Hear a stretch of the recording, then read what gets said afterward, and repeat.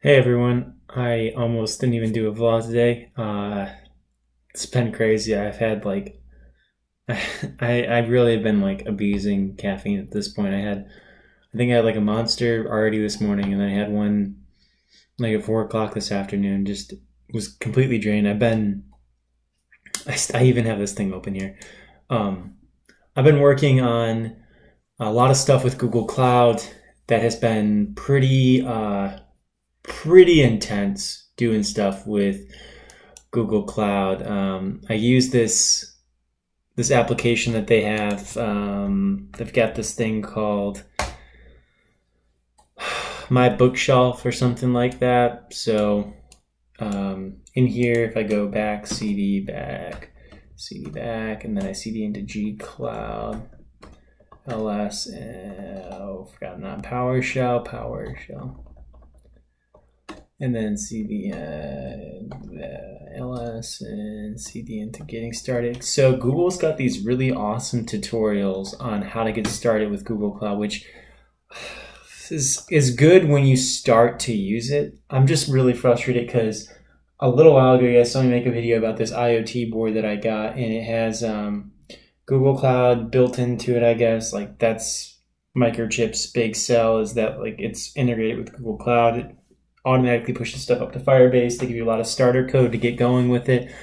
But the problem was I was trying to you I was trying to pull information from that real time database in um, Firebase, and the issue was Webpack was failing when I was trying to build the script from uh, the starter code for the AVR IoT board. So I couldn't get it going, and um, I'm really just trying to figure out how to get that put together. And it's I'm really lucky because the Clubhouse Code Bootcamp, we're going over Google, Google Cloud, which is is really cool. Like I'm familiar with Cloud Nine, and that's an Amazon, that's an AWS thing. So getting a little bit of experience with Google Cloud is awesome because now I can start to really hone in on my PHP skills and make some cool PHP apps. They also have all this cool starter code that you can get straight from their GitHub um, it's just cheap. It's Google Cloud getting started with PHP. We've got this awesome set of starter code now. I just I, I cloned down their repository, so this is um, uh, just pulled from their repository. So if I cd into, uh, I'm in that structured data thing. It comes with all these files, which uh, is a Silex framework, is what they're using. And Silex is a, is a PHP framework that's abandoned right now.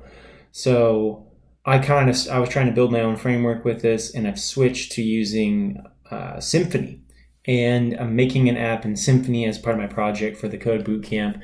But I was able to successfully create the app for this um, this uh, this solution that they have in Google Cloud. It's really cool, actually. So this is what the app looks like. You can go into you can add a book and there's an add route and when you add this thing it sends a post uh, a post request and it's a really nice controller.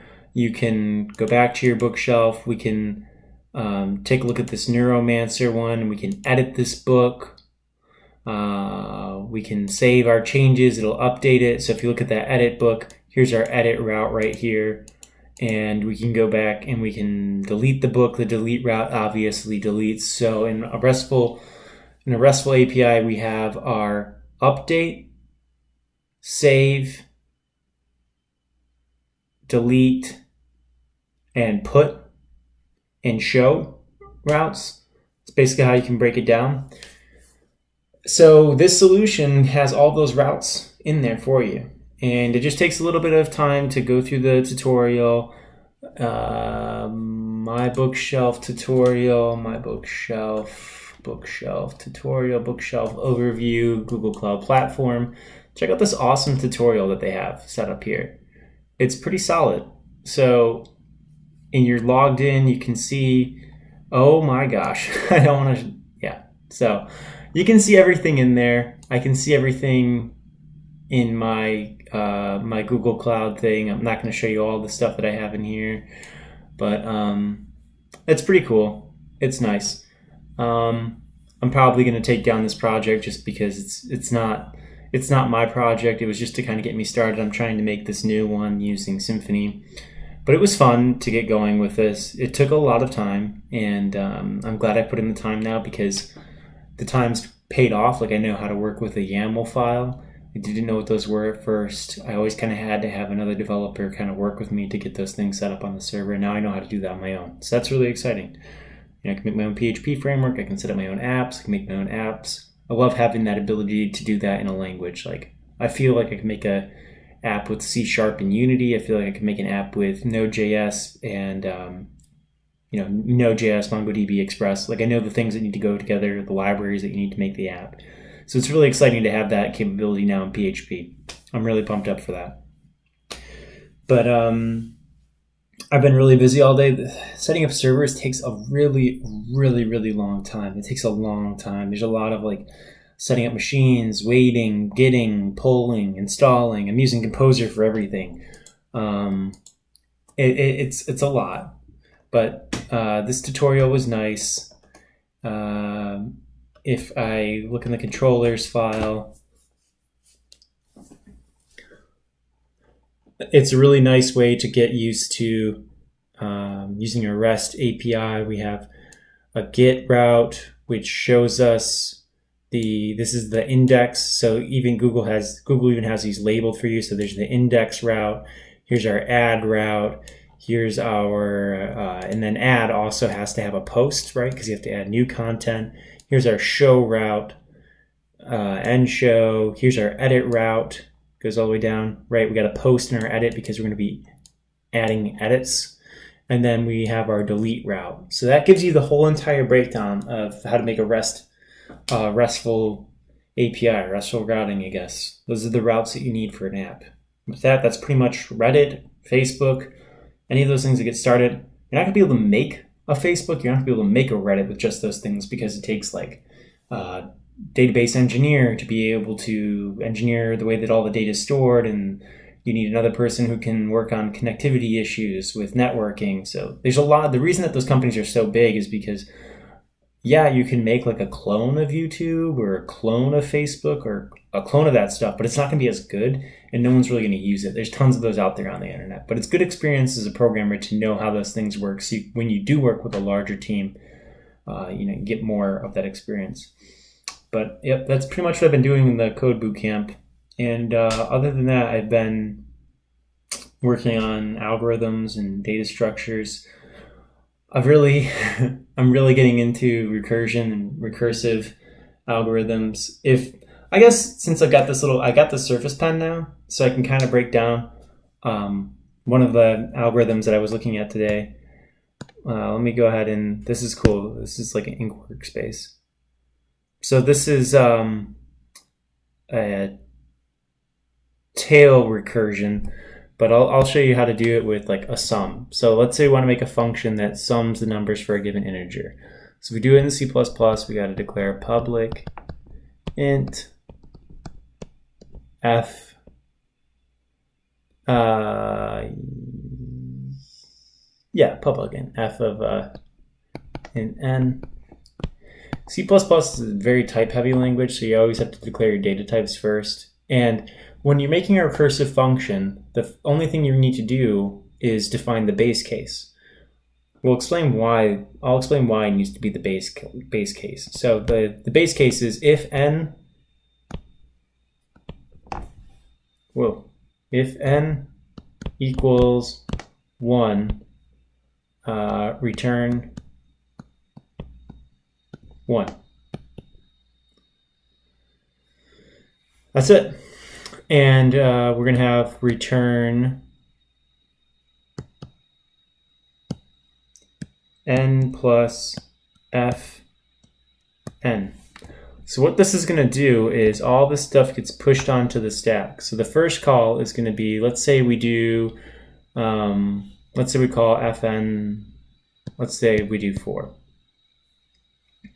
So the first call is going to be 4 plus f of, oop, and minus 1. This is the important thing in recursion. You always want to decrease because we're decreasing n, and then eventually we're going to hit this we're going to hit this base case right here. Got that eraser tool? Man, Surface Pro book is so awesome. so this is the first call, right? And then the next call is going to be, uh, we're going to have 3 plus f of 2. And then the next call is going to be 2, f of 1. And then if it's 1, it returns 1. So now this becomes 1. 2 plus 1 gives us 3. 3 plus 3 gives us 6. 6 plus 4 gives us 10. So, I don't know what I was trying to sum of the first the sum of the first four integers. So six, so that's going to be 1 plus 2 plus 3 plus 4.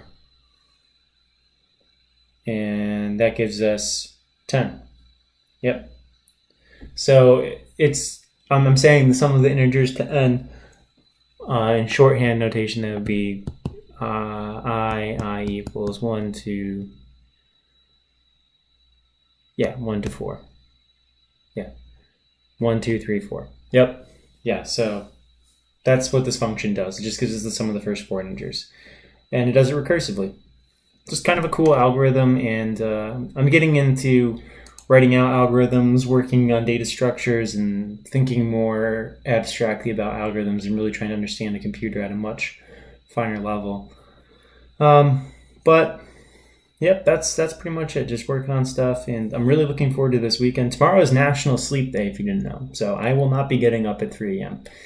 I'm gonna take a break, and I'm gonna be chilling out, and probably gonna sleep in Sleeping in for me is like actually sleeping until five, which is what happens when you train your body to get up at 3 a.m. all the time. You just naturally get up at 3 a.m.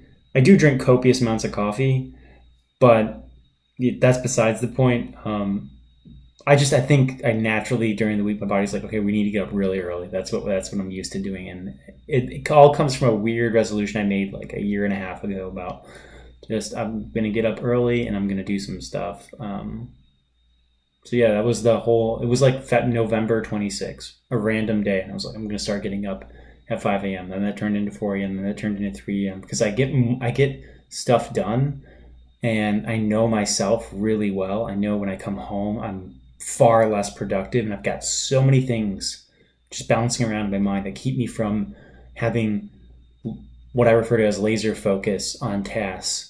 When I wake up, I can't help but have laser focus. There's really no like you you just woke up. What could you be upset about? What could have happened to you that's going to change your perspective on the day? What you're in control most of the time. I mean, sometimes you know you wake up and you're like, oh yeah, yeah, that thing I'm gonna take care of, whatever. Most of the time, you wake up with a pretty fresh mind, and that's you. It's different for everyone, but for me, that's my go time when I don't have distractions because I'm like the type of person who's like, hmm, I got to pay that thing, or oh, I got to pick up that thing from the grocery store, and for some reason I just can't drop it. So I, I have more focus in the morning. That's that's the way I am, but it's different for everyone. So yeah, tomorrow I'm be sleeping in, and this weekend I'm really looking forward to spending some quality time with friends and family, and uh, just taking it easy. But that's it for today's vlog. Hope you enjoyed.